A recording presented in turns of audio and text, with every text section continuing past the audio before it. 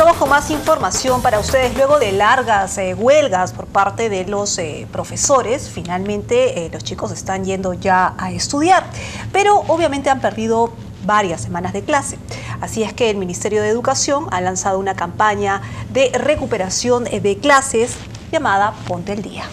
Es una campaña del Ministerio de Educación, se ha lanzado en, en Puno y seguramente tendrá otros lugares del país donde tenga que ser activado el plan. Bueno, estamos enlazados telefónicamente con el viceministro de Gestión Educativa, Fernando Bolaños. Vamos a conversar con él. Señor Bolaños, ¿qué tal? Muy buenos días. Buenos días. Muy buenos días a ustedes y a ¿qué tal? Cuéntenos un poco en qué consiste esta, esta campaña Ponte al Día y por qué en Puno, básicamente. Bueno, la campaña ya se está lanzando en, en otras partes del país, se han hecho actividades, yo he aprovechado para estar en el fin de semana, porque justamente además es un trabajo que se hace en coordinación con los gobiernos regionales.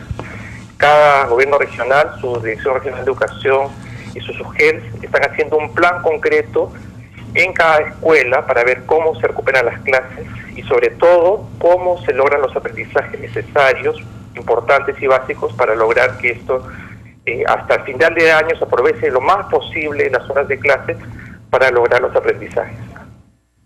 ¿Qué significa que el objetivo de esta campaña tiene eh, como sentido crear acciones pedagógicas y comunicacionales que garanticen el involucramiento y compromiso de todos los actores docentes? Eh, explicando eso en sencillo, viceministro, ¿qué significa?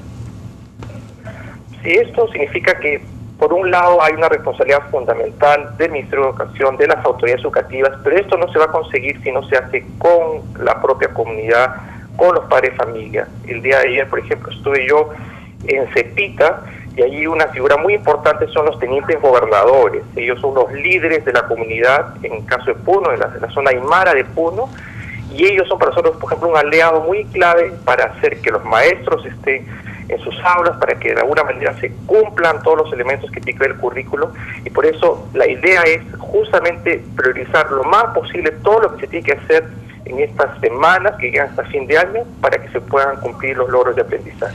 Ahora, finalmente, viceministro, ¿cómo eh, se va a idear precisamente cuántas horas más van a estudiar los niños? ¿Van a estudiar los fines de semana? ¿Van a ser asesorados? Eh, ¿Cómo va a funcionar en la práctica? Bueno, en cada UGEL y en cada escuela se ha hecho un plan, ¿no? El director se ha reunido con los maestros, eh, y el director es uno de los líderes fundamentales de este plan, y eh, primero han hecho una suerte como de diagnóstico de cuáles son los aspectos más importantes que se tiene que insistir en estos meses del año. Además de eso, obviamente hay una serie de materiales que el Ministerio está poniendo a disposición de los maestros. Hay unos artículos que se llaman rutas de aprendizaje en donde hay elementos concretos que tienen que hacer y prácticas y exámenes y varias cosas que los maestros pueden usar. Esto eh, además se va a ligar, como repito, en ver, ver, además cada región está determinando hasta dónde, hasta qué día de diciembre, incluso algunos hasta enero va a ir las clases. Y además se está poniendo a disposición de los maestros una plataforma digital que se llama Peroeduca, en donde hay una serie de videos y varios recursos que los maestros pueden usar, pero también los padres de familia. Ahora, viceministro Bolaños, para que un eh, proyecto como este pueda desarrollarse es imprescindible el compromiso de los maestros. Eh, ¿Se ha hablado con ellos a nivel del, sindicato? ¿Se ha podido conversar con ellos y, y se ha percibido ese compromiso?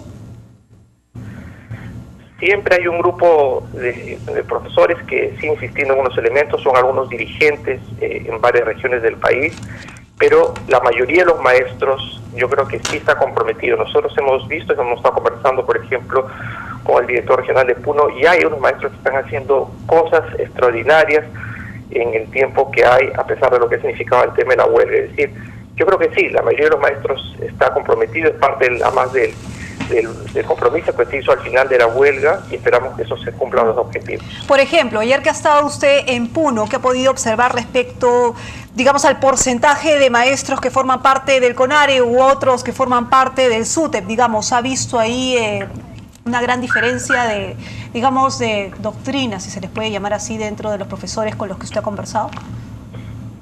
Hay un grupo que está en contra, todavía son sobre todo los de esta facción de CONARE, pero con la mayoría de los otros docentes eh, se, ha, se ha logrado hablar y, e insistir en, en, los elementos importantes de la recuperación de clases.